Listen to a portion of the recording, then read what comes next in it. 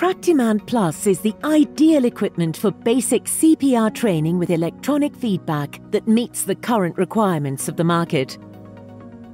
It has several advantages that set it apart. A wireless monitor which clearly shows training feedback. A two-in-one function that allows you to perform CPR on both adult and child mode with a single mannequin.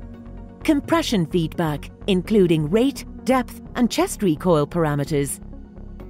You can train in standard mode or in blind mode, where you won't receive feedback in real time. Full results are provided once the training session is finished.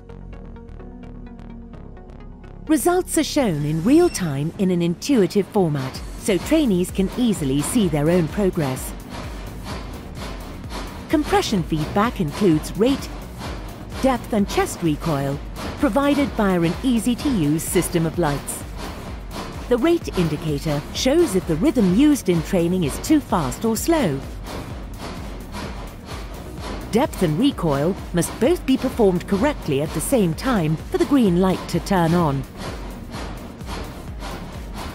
10 seconds after the training session ends, the monitor shows the final results in the column on the right, together with feedback on the rate, depth and chest recoil. Blind mode enables training without the light indicators. Just as in standard mode, after 10 seconds, the final results are shown. This is very useful in helping instructors make accurate assessments.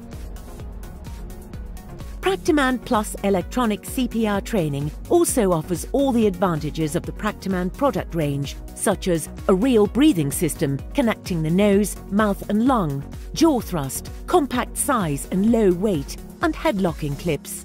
Practiman Plus can be purchased as a single pack or in packs of four, ideal for CPR training events.